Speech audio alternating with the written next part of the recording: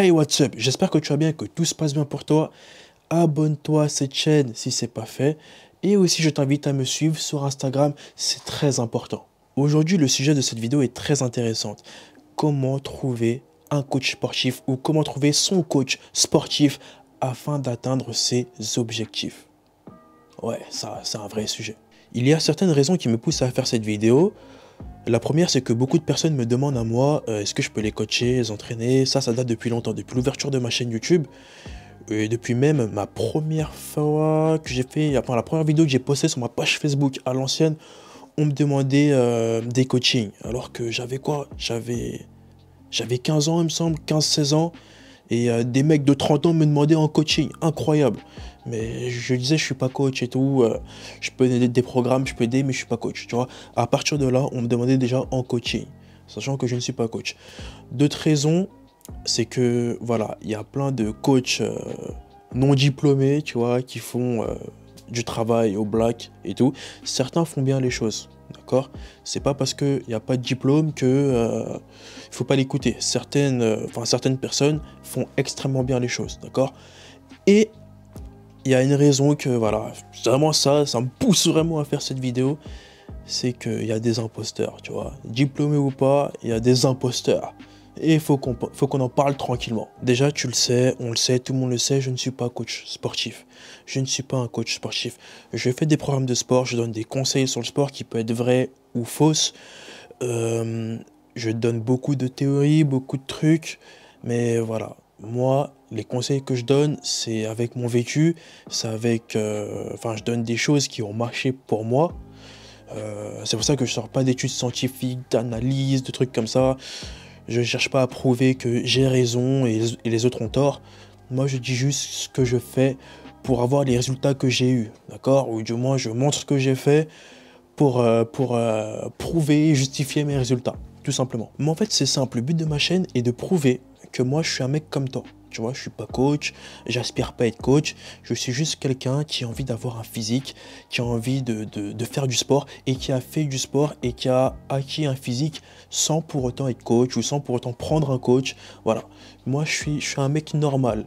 Et dans ma tête, je me suis, toujours dit que en étant comme ça, bah, je motive plus qu'en étant coach. Parce que euh, un jour, je suis parti à la salle et un mec qui m'a dit... Euh, ah, ah t'as un bon physique, mais t'es coach, en même temps c'est normal. J'ai dit non, je suis pas coach. Je suis pas coach, j'ai jamais pris de coach. Il m'a dit ah bon? Et ce mec-là, directement, je l'ai motivé parce que je lui ai dit ça, tu vois. Et de ma tête, je me suis, je me suis dit, grâce à cette personne-là, je voulais être coach avant, mais grâce à cette personne-là, j'ai plus envie d'être coach, d'accord? Grâce juste à une personne comme ça où on a discuté, je peux être coach. Si en étant normal, non coach dans sa tête, euh, je peux motiver, ben je vais être normal. J'aspire à être normal et je suis normal, je serai normal. Du moins pour l'instant, parce qu'on ne sait pas. Peut-être que dans 2-3 ans, formation coach, BPGEPS, on ne sait pas pour l'instant, mais pour l'instant, normal. Qu'est-ce qu'un bon coach selon moi? On va commencer direct, on va pas perdre de temps. Pour moi, un bon coach, c'est pas celui qui va venir avec toi en salle et crier sur toi pour que tu puisses avancer. C'est pas aussi celui qui va te faire un programme à distance, ok? Pour moi, un bon coach, c'est un mec qui va te faire ton programme, soit à distance, soit qui va venir avec toi, et qui va te faire un suivi vraiment parfait. D'accord?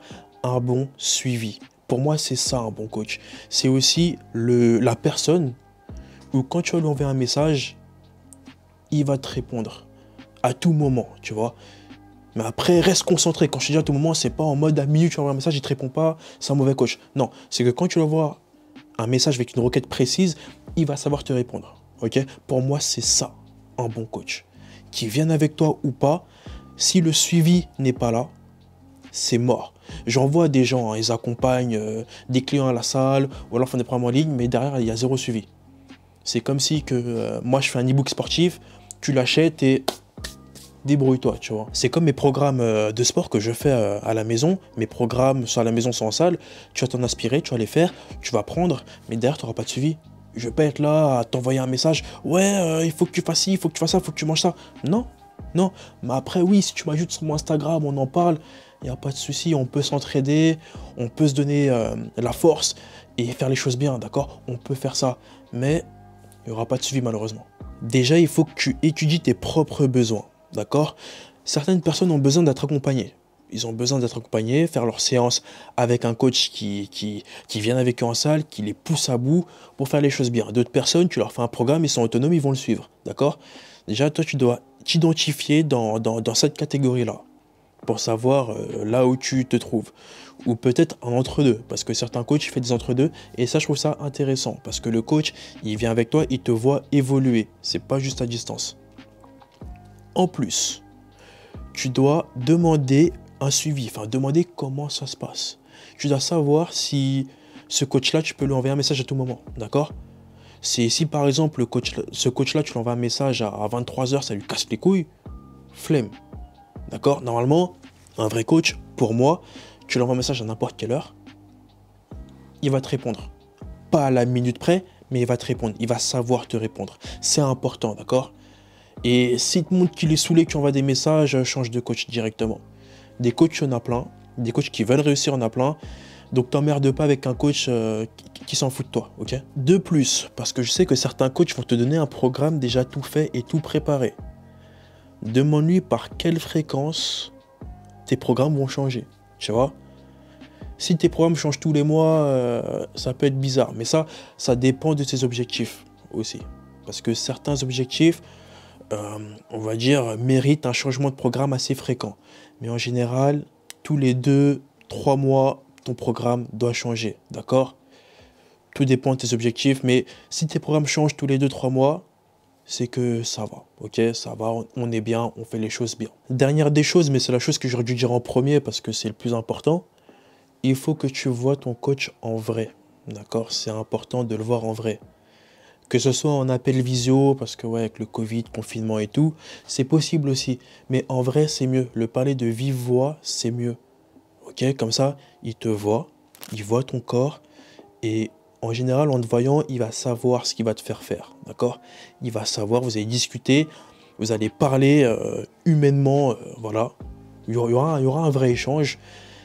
Et pour moi, c'est mieux. Parce que même toi, tu vas savoir si cette personne-là mérite tu lui donnes ton argent pour du coaching. Maintenant que tu sais tout ça, on peut rigoler tranquillement. On va passer à la partie la plus intéressante. Les escrocs, les, les, menteurs, les voleurs, les...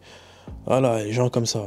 Bon, déjà, si tu viens d'Instagram, d'accord Si tu as un Instagram, si tu regardes ce qui se passe dessus, si tu suis un peu l'actualité du fitness, il y a énormément de coachs. Énormément tout le monde est coach, d'accord? C'est-à-dire que euh, même moi, demain, je peux être... Tout le monde est coach. Tous ceux qui font du sport, qui ont un physique, qui ont un peu de bras, un peu de pec, ils sont coachs, d'accord? Et dans ces gens-là, il y a certaines personnes où tu les vois tous les jours, ou tous les deux jours, ils coachent une personne différente, d'accord? Tous les jours, une personne différente à chaque fois. Eux, je te dis clairement, fuis-les. Clairement, fuis ces personnes-là. Après, attention, si tu vois la personne filme ou montre qu'elle coach toujours la, même personne, c'est intéressant. D'accord? Ou alors que tu vois souvent la même personne de ses coachings, c'est intéressant. Mais quand tu vois souvent que des personnes différentes, fuis. Pourquoi je te dis ça? Tout simplement que dans, dans ces coachs-là, il y a des magouilles. Tu vois, il y a beaucoup de magouilles. Et aussi, le suivi ne peut pas être fait correctement. Parce que si tu sais que ton coach, il coach 10 euh, personnes, 15 personnes, tu sais que le suivi, euh, il sera pas très honnête, il sera très rapide. Il sera en mode, euh, oui, tu progresses. C'est très bien, continue, lâche pas, on va faire des choses bien, on va aller loin, on ira, t'es une championne, t'es un champion, t'es un battant, fais les choses bien. T'auras que des phrases comme ça pour que tu restes avec lui, ok?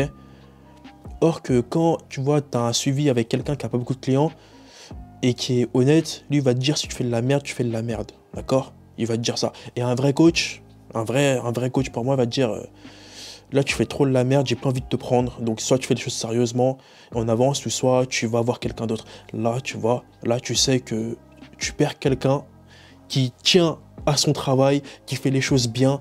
Et voilà, pour moi, ça, limite, c'est un coach de fou. Mais je pense pas que tu auras ce genre de message, vu le contexte actuel. Mais cherche un coach objectif. Si tu as un coach, pour moi, qui te dit t'as fait de la merde et tu dois assumer cette merde, dis-toi que ce coach, il est objectif, d'accord? Si ton coach te dit toujours ah c'est bien, d'accord? Flemme. pour faire, euh, pour ça, je t'invite à faire un truc que j'ai dit à une personne de faire, qui l'a fait et qui s'est euh, et qui s'est euh, qui s'est rendu compte de la supercherie. Cette personne-là avait un coach, d'accord, avait un coach non diplômé qui coachait 1000 personnes. Je lui ai dit, écoute, s'ils sont suivis et si intéressant que ça, parce que cette personne m'a montré les messages, tout simplement. Les messages, c'était oui, c'est bien, euh, c'est bien ce que tu fais, lâche pas et tout. je lui ai dit, écoute, tu vois ton corps là, tu vas faire une semaine sans faire de sport, mange des cheat meals, fais ce que tu veux, joue à la play, fais rien, envoie-lui une photo pour lui dire, j'ai fait des séances de fou, j'ai validé toute ma semaine, d'accord? Cette personne a fait ça. Envoyé son physique et tout. Et le coach a dit, c'est très bien, tu as progressé, tu fais les choses bien, le programme a bien marché, alors là on va passer sur ci, ça. Et elle a fini par être dégoûtée. Parce que oui, elle n'a rien fait, elle a mangé toute la journée et elle se fait encourager euh, sachant qu'elle euh, n'a rien fait, tu vois. Et ça, tu vois, c'est grave parce qu'un vrai coach, normalement, il sait. Après, voilà, une semaine, on va dire c'est compliqué. Mais si tu envoies des photos et que le coach il te dit c'est bien, lâche pas, c'est bien, tu vois, et il cherche pas à avoir des précisions, tu vois. Comment s'est passée telle séance? Comment t'as fait ci? Comment tu te sens? Comment ci? Comment ça? Ça sert à rien. Honnêtement, ça sert à rien. De plus, il y a un coach très malin, très fort, très connu. Lui, il coach que des meufs. Tu vois Parce qu'il faut savoir un truc. En musculation, celle qui te rapporte le plus de clients, c'est les femmes en coaching, d'accord? Les femmes, ok? Euh, Cette personne-là coach que des femmes que des femmes avec un beau physique, beau visage, cheveux longs, voilà. Des femmes, euh, on va dire, euh, limite, elles n'ont pas besoin de, coach, ok? Mais, mais elles seront coachées. Tu vois que le mec euh, en question, la personne en question, montre dans sa story tous les jours une femme différente ou la même femme avec le corps parfait en train de se faire coacher. D'accord? Moi, un jour, sur un coup de tête, je suis parti voir une de ces filles-là et je lui ai dit euh, Écoute, est-ce que, euh, est-ce que tu lui payes les séances? Elle a dit non, c'est gratuit. Il me fait ça gratuitement, pour s'entraîner apparemment. Je me suis fait d'accord. Je suis parti voir une autre personne qui l'a coaché plusieurs fois. Cette personne m'a dit la même chose. Donc, dans ma tête, je me suis dit, cette personne-là, utilise des, profils euh, avantageux et beaux à voir juste pour montrer qu'il est en activité, alors que cette personne ne gagne pas d'argent. Elle perd plus son temps qu'elle ne gagne d'argent. Ou alors elle utilise ces personnes-là pour envoyer des programmes à distance à des, à des femmes qui n'ont pas confiance en elles, qui ne s'assument pas, pour dire regarde, je coach ça en type de femme. Donc si tu veux devenir ça, tu dois faire le programme que je t'envoie, tu vois. Et je trouve ça assez vicieux. Et ces coachs-là, faut les éviter, mais vraiment fort. Vraiment, vraiment fort. Et ça, malheureusement, ça se passe de plus en plus avec des femmes qu'avec des hommes. Pourquoi? Selon moi, là, je vais mettre mon avis et mon hypothèse. Avec une femme, déjà, la femme va t'apporter plus de clients, ok? La femme est plus attirante à voir visuellement qu'un homme. Donc, on va rester plus longtemps sur une story, va voir une femme qu'en voyant un homme. Et aussi, certains coachs en profitent pour utiliser des monnaies d'échange euh, frauduleux, on va dire, avec les femmes en coaching. Et ça, euh, beaucoup de personnes le savent, ok? Et ça, c'est pareil avec des gens qui veulent que euh, montrer qu'ils sont avec des personnes connues, montrer qu'ils sont avec des gens qui ont beaucoup de followers, montrer, voilà, tu vois, ça, c'est un peu pareil, ok? C'est un échange de bons procédés, d'accord? C'est pour se montrer, c'est pour ci, c'est pour ça, c'est pas intéressant. Après, attention, il y a des personnes qui coach par exemple une personne connue, mais qui la coach, qui reste tout le temps avec lui. Là, ça peut être un vrai coaching, d'accord? Moi, pour moi, si tu vois que une personne reste souvent, d'accord? Un coach reste souvent avec une seule personne, c'est qu'il la coach vraiment, tu vois? Tant qu'elle montre pas qu'elle est avec 10 personnes, tant qu'elle montre pas qu'elle est en activité H24, t'as pas à te méfier, d'accord? Pour moi, c'est ça. Et c'est simple les personnes qui veulent montrer absolument H24 qui sont des machines de guerre à coacher euh, des milliers de personnes, faut les éviter. Les gens qui montrent, qui coachent souvent la même personne plusieurs jours, plusieurs mois, c'est intéressant. Ça prouve que le suivi est bien fait. Que la personne soit connue ou pas, si cette personne est souvent avec la même, si le coach est souvent avec le même client, c'est que le suivi doit être vraiment intéressant. En conclusion, moi je pense n'a pas besoin de coach, tout simplement. moi je fais mon casse-couille, tu vois. Moi je dis les choses. Tout simplement parce que moi, euh, j'ai pas besoin de coach, jamais eu de coach et euh, je compte pas avoir de coach, d'accord? J'ai fait mes entraînements moi-même et j'évolue avec euh, mon mental, ma force et ma motivation. Et je pense qu'on n'a pas besoin de coach, d'accord? Après, certaines personnes ont besoin d'être accompagnées, ont besoin de, ça, ou trouvent le besoin à cause des réseaux sociaux d'avoir un coach. Mais je pense qu'on n'a pas besoin de coach, qu'on peut y arriver seul. Mais je comprends le fait qu'il y a des gens qui ont besoin d'accompagnement, d'accord? Dernière chose à dire en conclusion, il ne faut pas confondre coach et préparateur physique, c'est pas la même chose, d'accord? Ce n'est pas la même chose.